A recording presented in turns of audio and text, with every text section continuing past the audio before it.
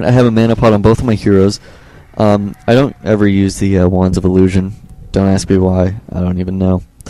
Um, but at this point, I believe I'm going to try and set up an expo, and I'm just going to push. And the reason I'm able to set up an expo is because he actually wasted two TPs.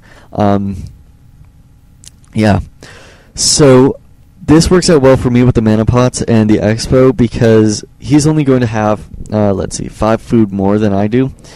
And with Chainwave and the fact that he's going rifles, um, that five food really works in favor of me. uh, just because I can actually damage, let's see, his entire army except for that one breaker. And it just works out well, out well for me.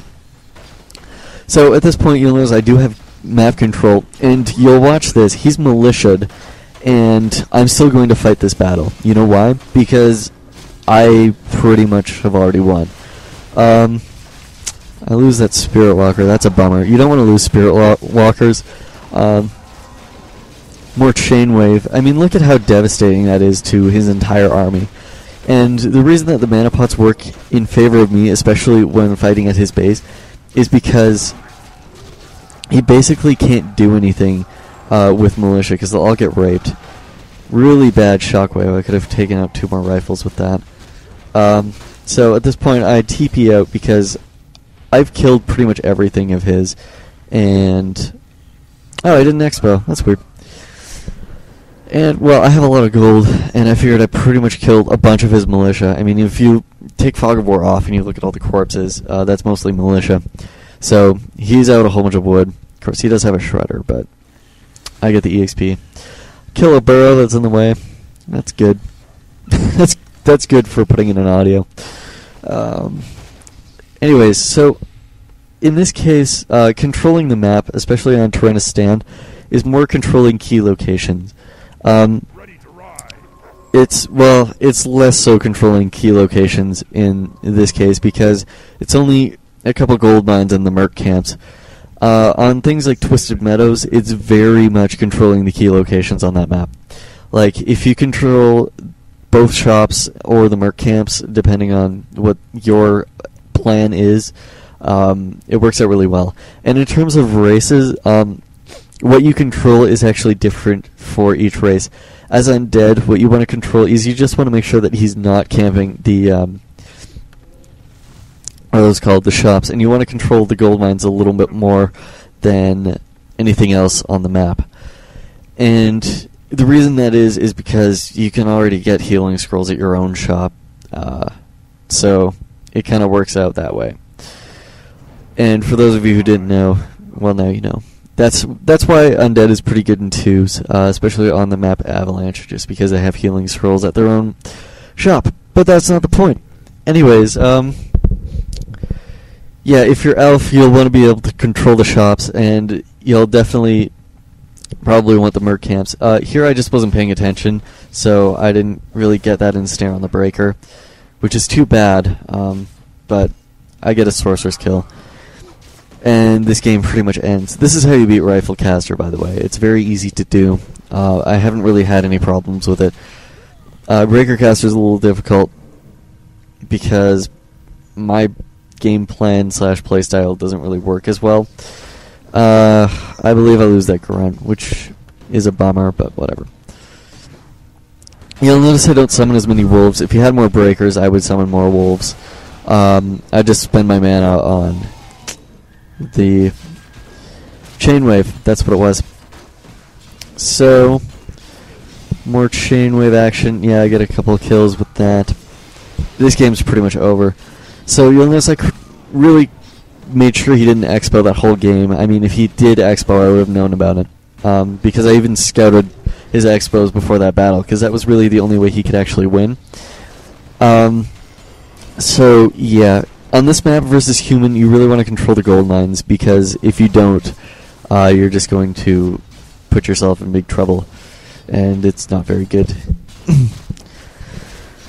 and what else? What else? What else do I want to talk about?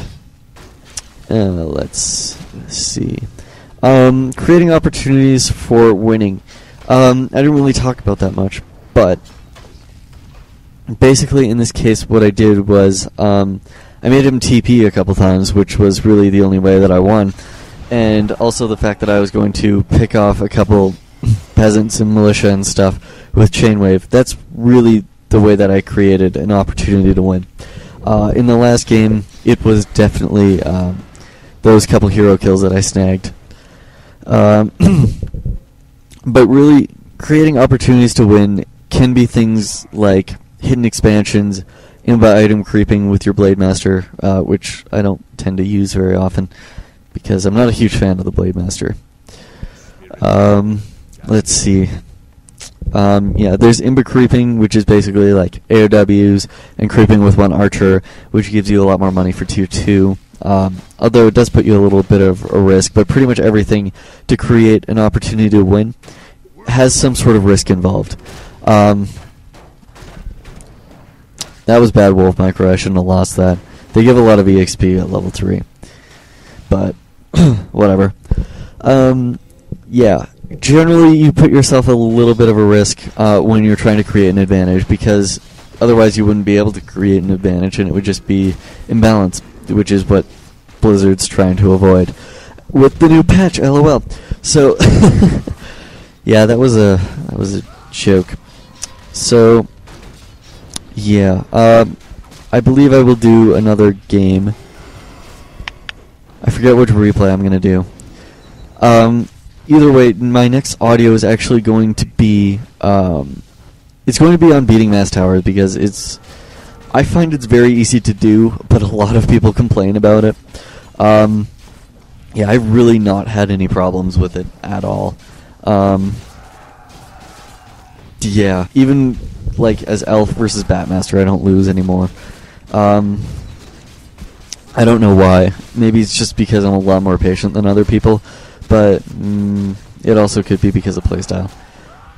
So I don't give this guy my AKA burn, but yeah, that's my AKA. Hi, I'm Orange from WC Replays.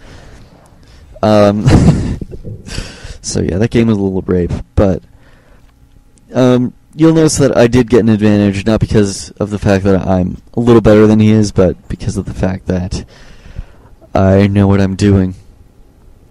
So, uh, hopefully this is the replay I was going for. Okay, it is. So this game is going to be Orc Mirror. This is actually my new strategy in Orc Mirror. And you may think it's absolutely ridiculous, but it works. um, it's just a little more difficult to get working because of the early game, and I will mention that.